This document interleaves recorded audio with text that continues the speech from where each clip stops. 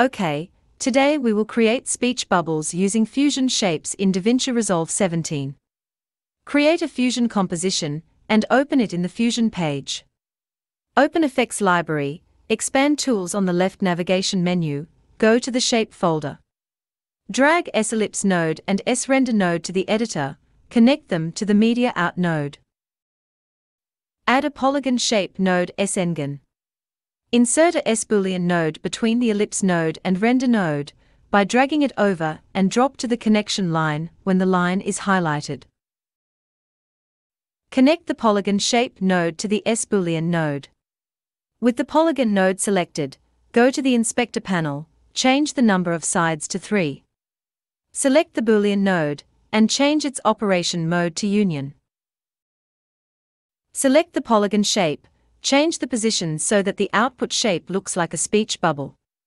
Drag a S-outline node and insert it between the Boolean node and S-render node, and we now have a transparent speech bubble with a border. Adjust the width, height and position of the ellipse node and polygon node until we have the bubble shape we like. Next, add a text node from the toolbar. Connect the text output to the S-render output so that the text is merged to the final speech bubble result. Change the text and its look and feel as you like in the inspector panel. We now have a speech bubble done with a transparent background. Next we will add a background control to the bubble. Add another S-Boolean node to the node editor. Connect the outputs of ellipse and polygon shape to this new Boolean node. With the Boolean node selected, change the operation to union. To merge the new Boolean result, drag the Boolean node output to the S-outline output.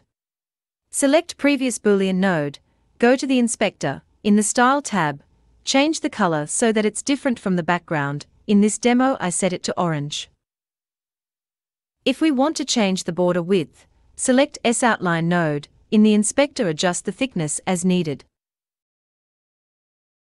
Select the second Boolean node, we can change the background color of the speech bubble.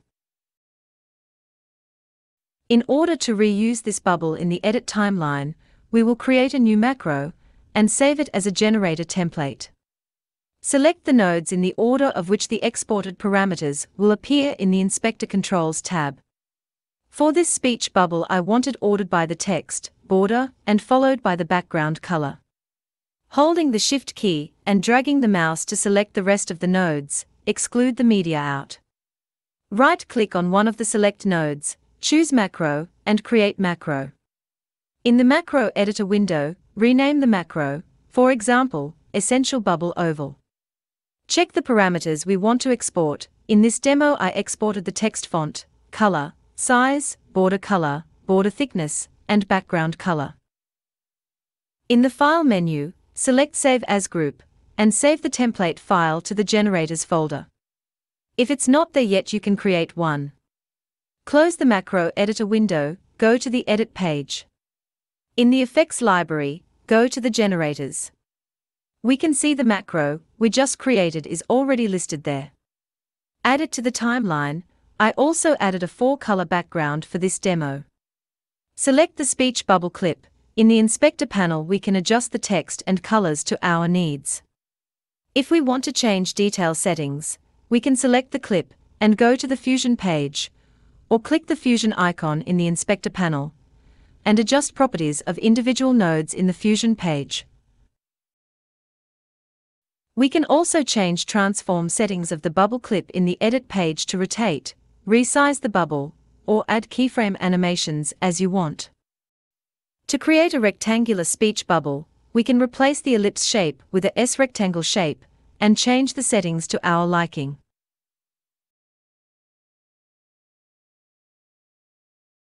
With the corner radius setting, we can also add round corners to the bubble. Repeat the same step to create a macro template for this rectangle bubble. We can now use both bubble shapes in the timeline and adjust their looks and feels in the edit page. Okay, that's all for now, thanks for watching, and see you next time.